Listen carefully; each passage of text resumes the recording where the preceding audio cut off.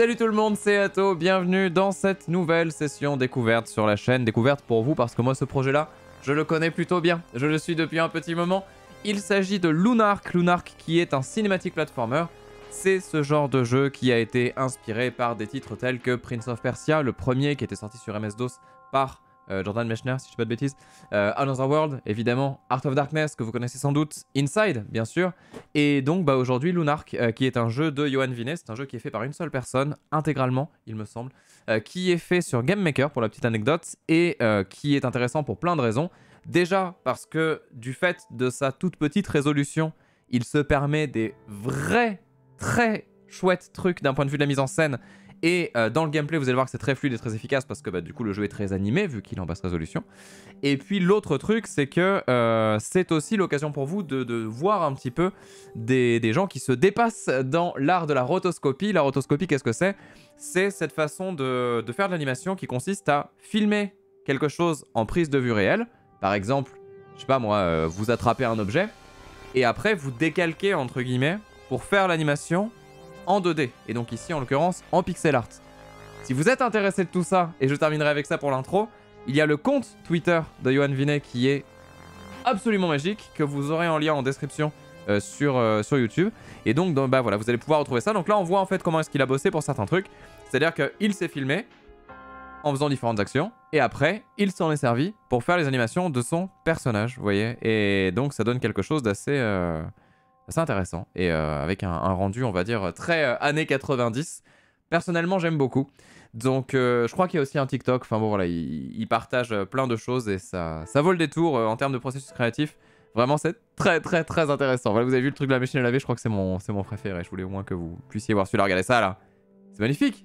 C'est magnifique. Non, la, la, démarche, elle est, elle est vraiment géniale. Allez, bah écoutez, on va, on va lancer le jeu. Donc, la démo est actuellement disponible sur Steam. Je ne suis pas sûr de savoir sur quel euh, support le jeu pourrait sortir en plus de ça. Donc euh, dans le doute, je ne dis pas de conneries, je mets en plein écran et on va regarder la scène.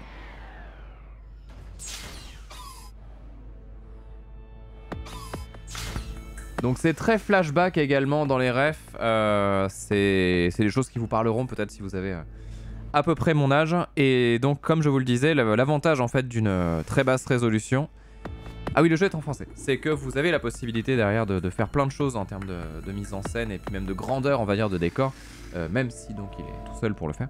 Et c'est vrai que ça, ça, moi je trouve ça a une gueule de fou. Enfin, j'adore. Et en plus là, après il y a un autre art qui est celui du choix des couleurs pour la palette de couleurs. Et là, la palette, elle est absolument divine. Je peux vous dire vraiment là en termes de pixel art, ça peut vous sembler euh, peut-être être un peu, entre guillemets, simple parce que c'est une basse résolution, mais c'est ultra technique et c'est très pointu ce qui a été fait ici. On commence. Salut les gars, je viens voir Gideon. Vas-y Léo, il est à l'intérieur. Quoi? Tu vas le laisser rentrer comme ça Sans même le fouiller? Malgré tous les attentats qui ont lieu ces derniers jours? Mais voyons, c'est Léo, le petit protégé de Gideon. Il traîne ici presque tous les jours. C'est contraire au protocole de sécurité de Lunark. Je devrais dénoncer ton laxisme. Désolé gamin, si tu veux rentrer, il va falloir me prouver que tu n'es pas armé. Je t'ouvre si tu appuies sur Start pour me montrer ton inventaire. Allez, donc là on montre, ok, donc on voit au passage objectif, tout ça. Très bien, allez on circule. Alors je précise que j'avais déjà montré une démo de ce jeu il y a bien longtemps, mais déjà il me semble que bah, là c'est une version beaucoup plus avancée. Et puis euh, surtout, bah, c'était il y a tellement longtemps que voilà, ça vous permettra aussi de découvrir le jeu si vous n'avez pas vu cette fameuse vidéo que j'avais sortie il y a un petit moment. Ce sont eux qui nous gouvernent alors que nous les fabriquons. Mais c'est dingue alors on va prendre l'escalier. Alors il doit y avoir des touches pour courir j'imagine. Oui ça c'est la gâchette. Alors Gustavo qui nous dit Hello petit gars. Non mais, les noms c'est des noms de... Attends Gideon, Gustavo là c'est dans quoi que j'ai déjà vu ça? Il y a pas si longtemps que ça en plus. Il y a encore eu un attentat contre une de nos usines. Ces rebelles sont complètement enragés. J'ai vu ça.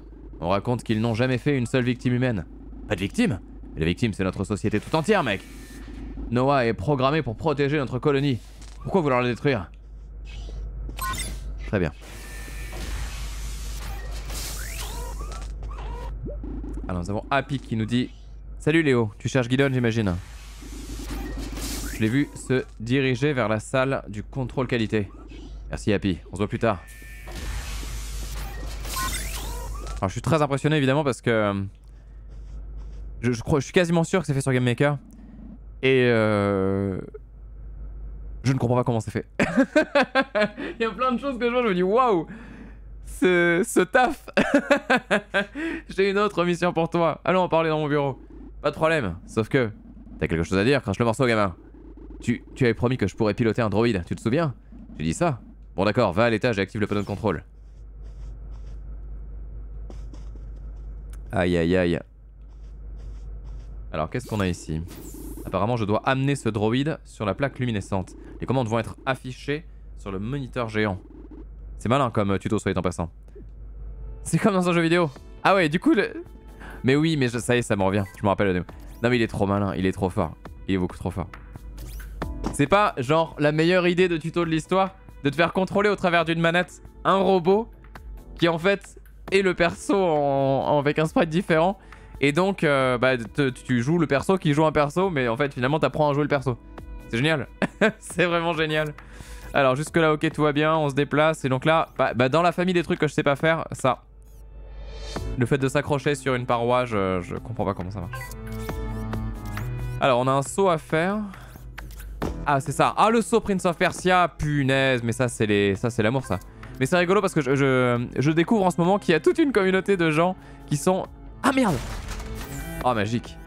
Qui sont très, euh, très influencés par Prince of Persia. Ah, j'ai raté mon saut. La merde. Attends, c'est moi qui suis à l'ouest? Ah, c'est qu'il faut sauter tôt. Hop là. On tire. Ah, on a la roulade. Le saut. Et encore une fois, c'est un échec. C'est pas grave. Ah ouais, oh non mais c'est tellement prince. C'est génial. Et attends, comment je fais là? Alors ça j'ai. Ah ouais, d'accord, c'est que je reste appuyé, je suis bête. Ça y est, j'ai. Et en plus, c'est logique de crever et du coup d'avoir un autre robot pour t'apprendre. Hop là. Alors, il faut un peu de temps pour s'habituer, mais c'était amusant. Allons voir ce que me veut Gideon. On y va. Mais ouais, euh...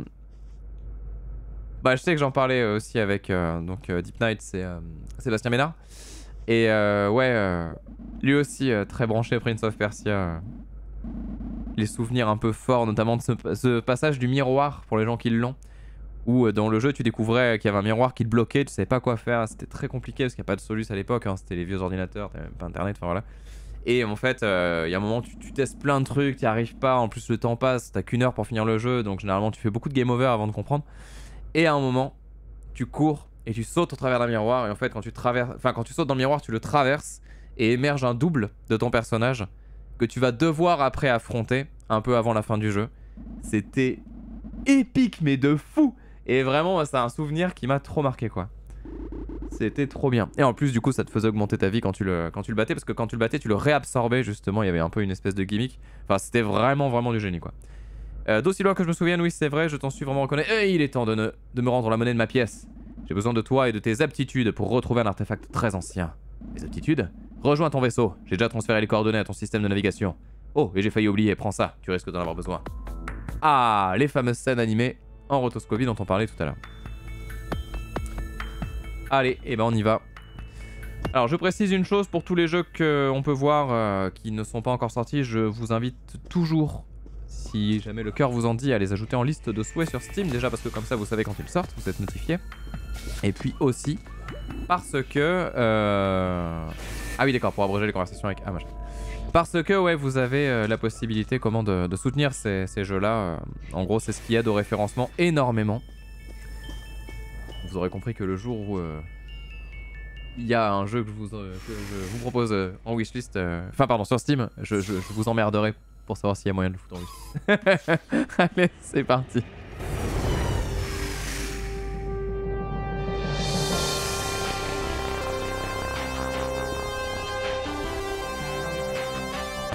Regardez ça, ce niveau, putain, c'est trop beau, quoi.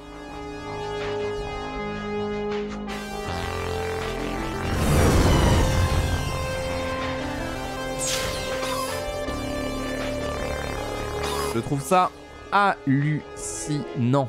Mais vraiment hallucinant. C'est tellement beau. Ah, les, les choix de couleurs, il est incroyable. Attends, je déballe illimité ou pas? Non, c'est bon. Ah, la gravure.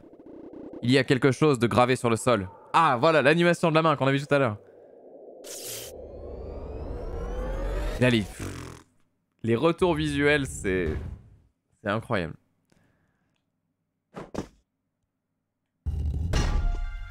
Allez. Alors la touche Y pour sauter, faut s'y habituer quand même, mais ça va le faire. Là là. Et vous voyez un truc qui est génial, c'est que l'animation de pixel art, quand c'est à ce genre de résolution là, c'est vraiment que de la suggestion. Et c'est ton cerveau en fait qui compose le mouvement. Et là vous voyez la main qui fait un petit revers là comme ça, il y a un petit truc. Et ça a l'air de rien mais ça apporte tellement. Pareil. La chute, en fait, c'est quasiment que du son, quoi. Parce que tout seul, ça marche. Mais alors tout seul avec, avec le son, et puis le petit truc en dessous et tout, c'est vraiment un ensemble d'éléments qui ajoutent de la crédibilité à, tout. Et euh, ouais, non, je trouve que c'est d'une efficacité euh, assez hallucinante. Hein. C'est vraiment balèze. Vraiment, vraiment balèze. Alors, comment on a dit qu'on faisait? Ah c'est beau hein. Descendre prudemment. Ah oui, c'est ça, merci, merci les gens. Maintenir machin pour rester suspendu. Ah oui, voilà, c'est ça.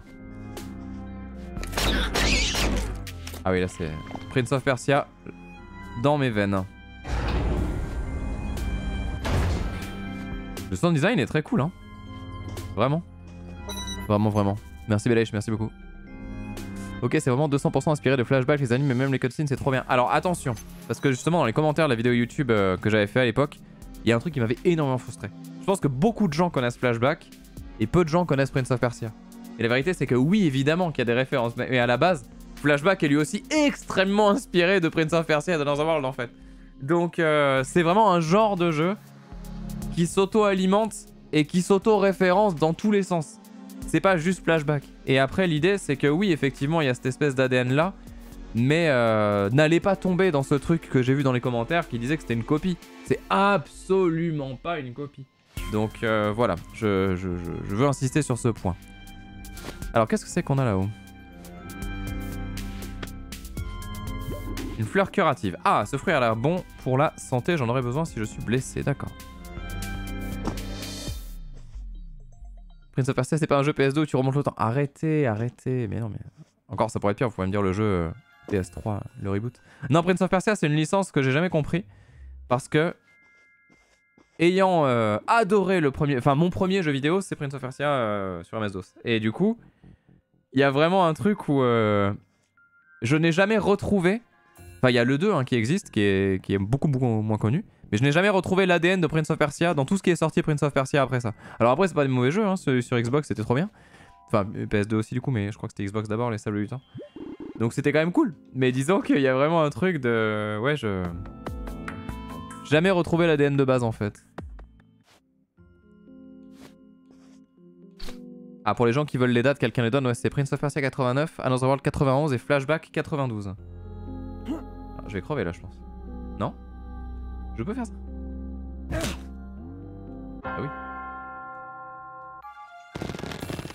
Ah J'émerge dans une plante. Alors on va aller voir ça.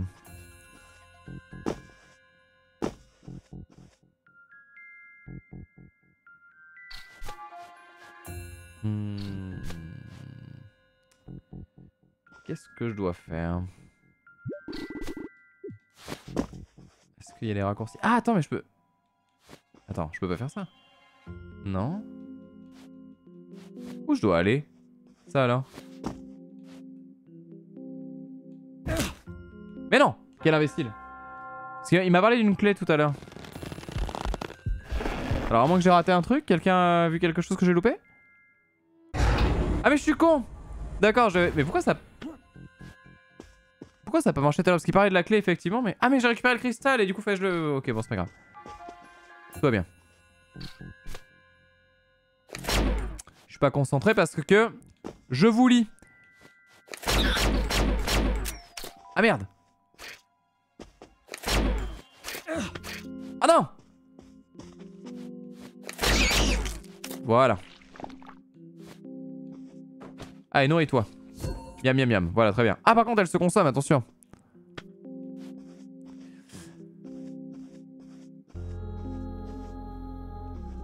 Ok. Allez, on avance.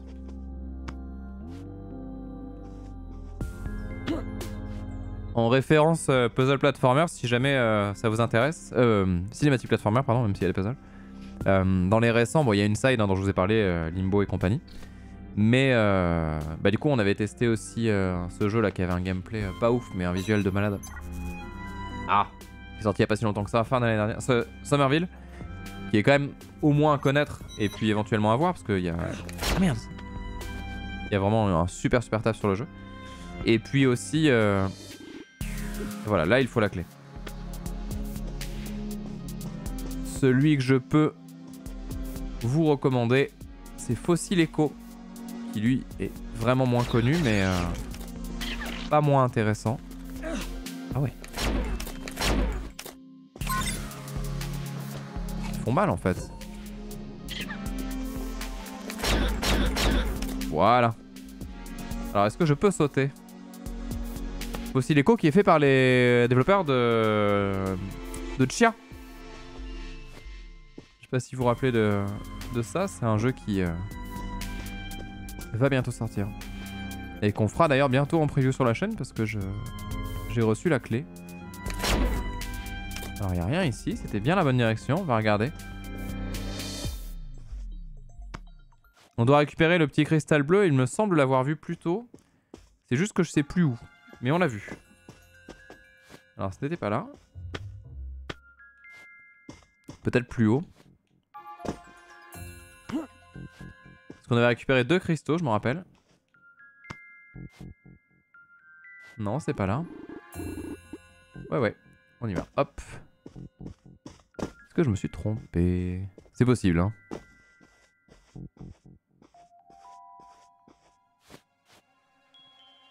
Ah, voilà, c'est ça. Alors, comment on va faire?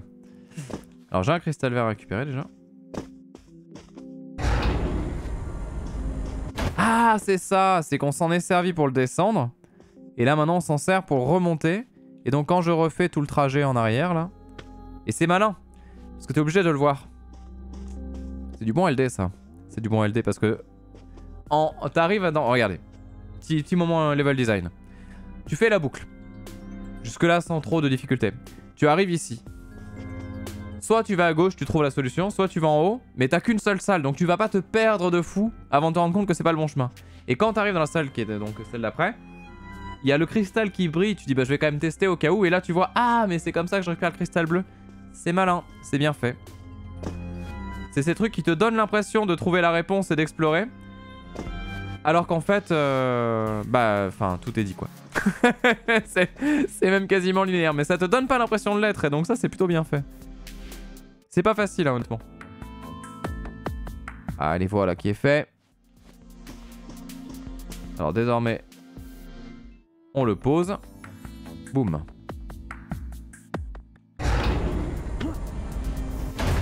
Et maintenant qu'on a fait ça, on va pouvoir s'en servir pour pouvoir aller sur les salles suivantes, je pense. Hop là. Exactement.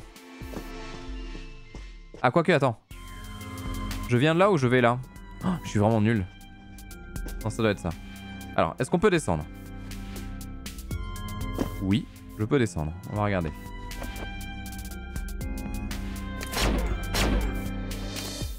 Il y a un cristal euh, à récupérer rouge.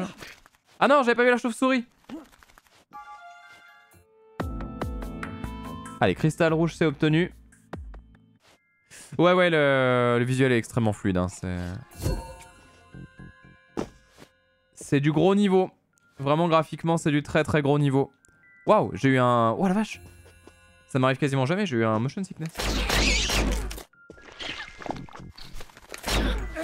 Ah Ah, je peux mettre des patates quand je suis à, à portée.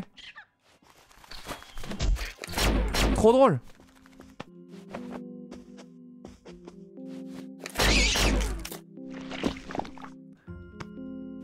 Alors on ne récupère rien a priori quand on tue des ennemis. Ok. Petit soin. donc là, si je comprends bien... Alors, je pense que c'était ça. Je pense pas crever. Oh, les animes, mais au secours, quoi. Ce taf. C'est hallucinant. Ah bah non. mais moi j'y croyais vraiment en plus, c'était sincère dans ma démarche là. Ok, bon bah j'ai compris. Ah mais non, je suis trop con, punaise, j'ai le cristal rouge en plus là. Oh là là, mais quel imbécile.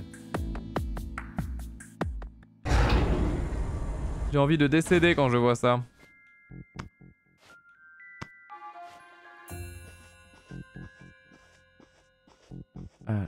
Ah oui, effectivement, les cutscenes, c'était pas dans, dans, Flashback, oui, la manière dont il a fait les cutscenes, euh, qui font très Flashback, effectivement. Euh. Et encore une fois, dans World aussi, qui avait beaucoup ça, la rotoscopie euh, à fond les ballons pour Eric Chahi, qui, qui s'était donné à cœur joie ce truc-là. Mais encore une fois, c'est ce que je vous dis, c'est que tous ces jeux s'auto-alimentent et s'auto-référencent. Même si pour moi, le, Seigneur, c'est c'est vraiment Art of Darkness qui est le, graal du graal du graal de ce qu'on peut faire euh, en termes de cinématique platformer, selon moi, avec Inside. Alors, le cadavre d'un mercenaire, c'est sûrement lui qui a gravé toutes ces pierres. Il ne devrait plus avoir besoin de sa recharge de bouclier. Ces boucliers ne fonctionnent que si on reste immobile. Donc là, on récupère le bouclier. Et ça, je sais plus, il y en avait dans Flashback un bouclier? Parce que c'est très Another World, le côté euh, protégé derrière, le bouclier pour faire les phases de gun, là.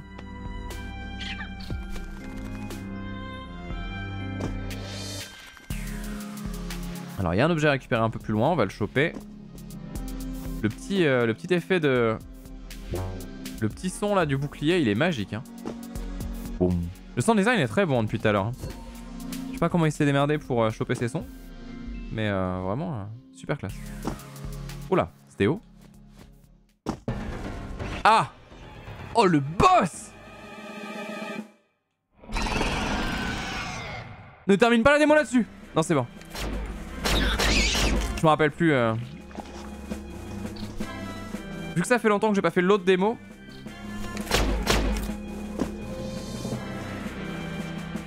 Malin ça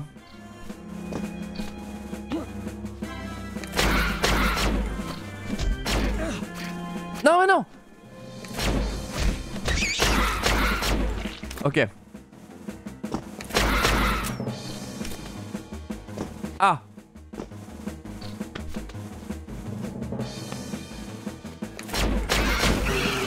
Et de 1. Voilà.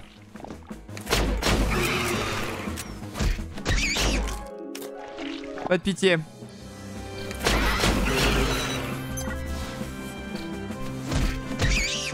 Voilà. On descend. C'est parti. Hop, hop, hop. Alors flèche du haut pour sauter, c'est quand même bien plus pratique.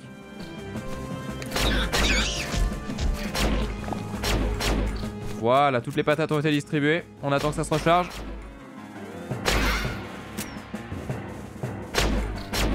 Ah merde. Voilà.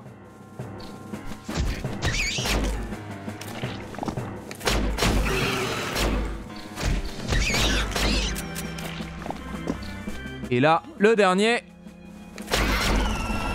On n'en parle plus.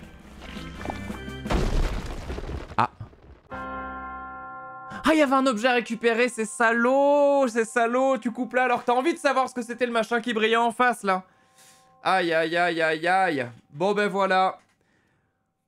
Beaucoup trop cool. Et bah, ce qui nous dit un peu dommage que le boss ne fasse pas grand chose. Bah, attends, c'est un premier boss d'un jeu euh, en mode tuto pour vérifier que tu connais bien le gameplay. En plus de ça, on est sur un jeu fait par une seule personne. Je sais pas si vous mesurez ce que c'est dans une production, la création d'un boss. Bon, c'est déjà exceptionnel qu'il y en ait en fait. Donc là, non, non, c'est un très très bon euh, confirmateur de compétences euh, pour euh, tout ce que tu as vu dans le tuto juste avant. Tout ça parce que tu utilises toutes les compétences que tu as vu depuis le début à part le saut. Donc non, non, c'est très malin. Moi, je, trouve ça plutôt même élégant. Voilà, c'était Lunark. J'espère que ça vous a plu. J'espère que cette session vous a intéressé. J'espère ne pas avoir été trop explicatif. Voilà, parce que j'ai quand même parlé de beaucoup, de choses. mais en tout cas, voilà, ça reste un titre que je vous invite à surveiller de très près qui arrivera donc euh, a priori dans l'année. J'ai vu un 2023 glisser là sur l'écran titre, donc ça doit arriver. Et puis n'hésitez pas à l'ajouter donc en liste de souhaits effectivement sur Steam histoire de soutenir le projet. même si je me fais aucun souci, je suis sûr que ça va très bien se passer pour lui. Allez, là-dessus je file. À très vite pour le live. Ne quittez pas, je continue évidemment pour d'autres découvertes.